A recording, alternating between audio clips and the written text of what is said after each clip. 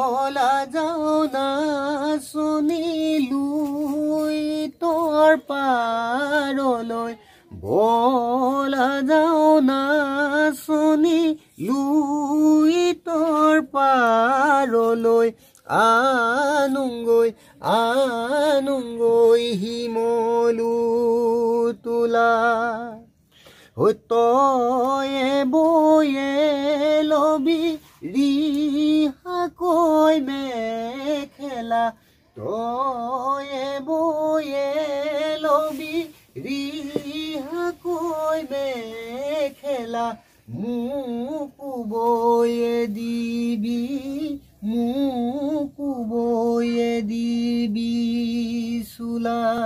মই বৰ্তমান উপস্থিত আছোঁ তিনিচুকীয়া জিলাৰ মাকুমত। মোৰ সতীত হৈ দেখুৱাব তাৰ সামগ্ৰিক দৃশ্য একুৰা জুই জ্বলি আছে আৰু এখন ধোঁৱা চাং মোৰ হৈ দেখুৱাই আছে ইয়াৰ দৃশ্য। যিটো মৰাণ জনগোষ্ঠীৰ পৰম্পৰা ধোঁৱা চাং আৰু জুই জুই কাষতেই যি কৰ্ম কৃষ্টি সংস্কৃতি ভঁৰাল ৰসঘৰৰ কাষতেই আছে এজন। নাম হৈছে প্ৰফুল্ল খাউন তেওঁ যি অসমীয়া সংস্কৃতিৰ যি পৰম্পৰা বাদ্য বাদ্যসমূহ নিজৰ হাতেৰে গঢ়ি তুলিবলৈ সক্ষম হৈছে নিজৰ হাতেৰে বনাবলৈ সক্ষম হৈছে আমি সেইগৰাকী কাষলৈ যাব বিচাৰিছোঁ মোৰ সতীত থকা আগুৱাই আহিবলৈ অনুৰোধ জনাইছোঁ। ইয়াত বিভিন্ন ধৰণৰ বিহুৰ বাদ্য তেওঁ বনাই আছে নিজ হাতেৰে।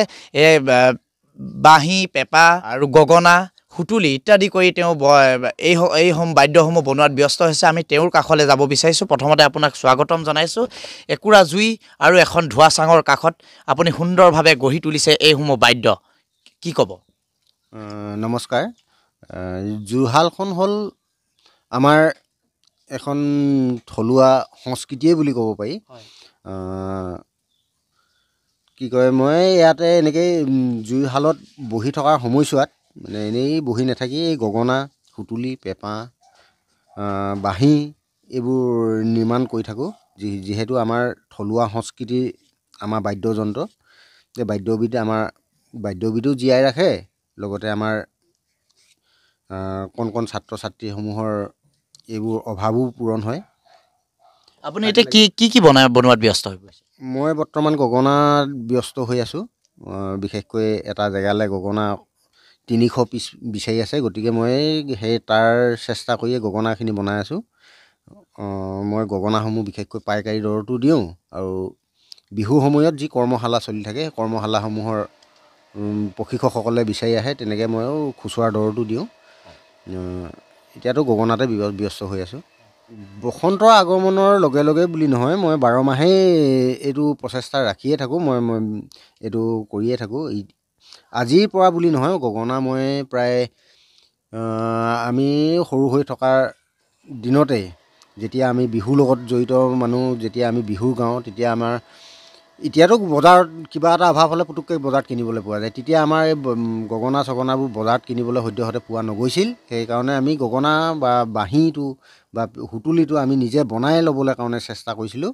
সেইকাৰণে যদি কোনোবা বিশেষ জনা ব্যক্তি এজনৰ ওচৰলৈ যাওঁ যে আমুক গগনা এখন লাগে বুলি ক'লে কমচে কম বিহুটো পাৰ হৈ যায়গৈ তেতিয়াহে গগনাখন দিবলৈ সিহঁতে সক্ষম হয়।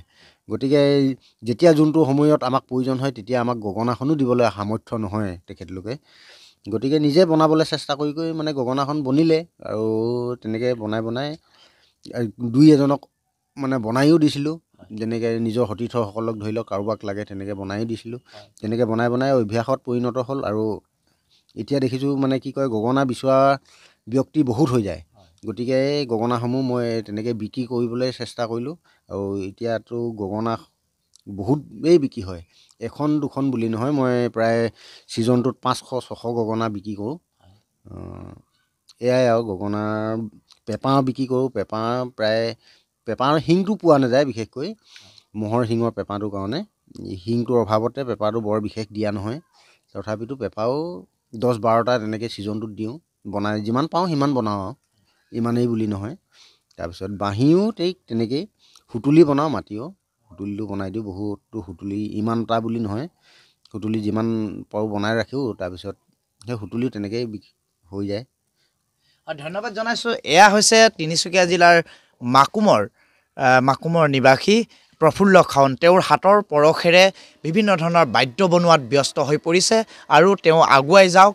তেওঁৰ কৰ্মৰ যোগেদি সাংস্কৃতিক জগতখনত জিলিকি থাকক আৰু তেওঁৰ হাতেৰে বৰ্তমান ব্যস্ত হৈ পৰিছে। এই গগনা বাঁহী আৰু সুতুলি বনোৱাত ব্যস্ত হৈ পৰিছে।